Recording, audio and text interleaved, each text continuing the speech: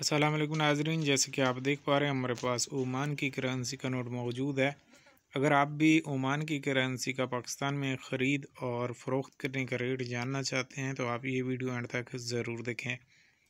नाजरीन, सबसे पहले तो हम बात करते हैं मार्केट ट्रेंड की। आज इकतीस अक्टूबर 2022 है।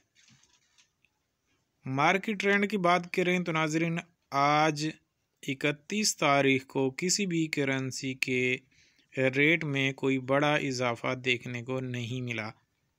जी हाँ करेंसीज़ के पॉइंट में फ़र्क आया है। मार्केट डाउन ज़रूर हुई है, लेकिन कोई बड़ी तब्दीली, जिसे कहा जाता है, एक रुपये में, दो रुपये में फ़र्क नहीं आया।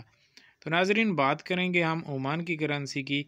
पाँच सौ पिचासी रुपये और पचास पैसे में जो है, एक ओमानी रियाल पाकिस्तान की एक्सचेंज कंपनीज़ वाले अपने कस्टमर से ख़रीद कर रहे हैं।